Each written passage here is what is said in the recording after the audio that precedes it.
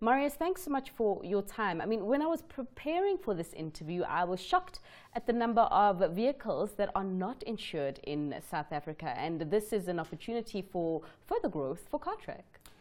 Indeed, it is, Fifi. Um, 70% of vehicles in South Africa are uninsured according to the Automobile Association of South Africa.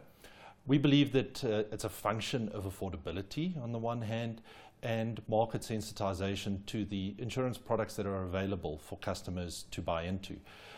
Cartrack is in a very, very unique position with a 91% stolen vehicle recovery rate to leverage that recovery rate and provide customers with a fantastic product offering at 9 Rand 99 subject to terms and conditions. Right. And we believe that this is going to change the market um, for the better. What is happening in, in, is it South Asia or in the Asian markets where you're experiencing uh, incredible growth there? What's driving that? So Asia Pacific is a fantastic growth market for us. We have a number of startup operations in that region. Um, we went there about four years ago, starting off with, a, with a, an operation in Singapore, and that operation has in four years' time turned to a significantly profitable uh, contributor for the group. Mm. Um, we've got businesses in Thailand, Malaysia, Indonesia, the Philippines, the United Arab Emirates, and most recently in, in New Zealand. And we see tremendous growth opportunities in all of those jurisdictions, and in particular in countries like Thailand, uh, Indonesia and the Philippines, where the vehicle numbers are vastly more than we see in any of the other jurisdictions where we have mature businesses.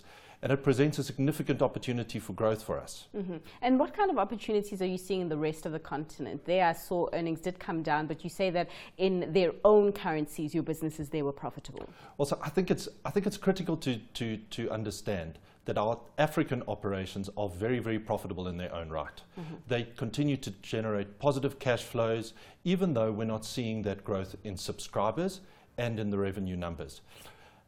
Africa is also a critical part of our stolen vehicle recovery infrastructure in Africa, particularly in cross-border theft, and it's a critical component of our fleet management business across Pan well, in, in the Pan Africa region. Mm. Um, we see it as, as a strategic investment. Um, we've significantly invested in the management capacity, the distribution capacity, and the operating capacity over the last nine to 12 months, which would be reflected in the, the decline in operating profit in that region. But that investment is likely to yield quite a, quite a significant return over the next 12 to 18 months, or at least we expect it to. Okay. And uh, going forward, I mean, you just did mention air that you would be speaking with shareholders Cape Town, right?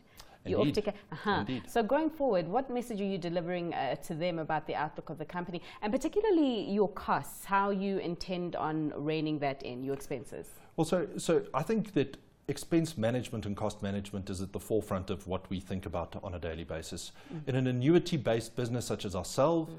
you have the opportunity to leverage economies of scale as your subscriber base increases, um, and that really allows you to leverage your, your profit and your earnings to shareholders we're in a growth phase at the moment, mm -hmm. and we see significant opportunities across all of the jurisdictions in which we do business. Mm -hmm. And we believe that this investment and this continuing investment is going to yield significant results for shareholders in the short to medium term.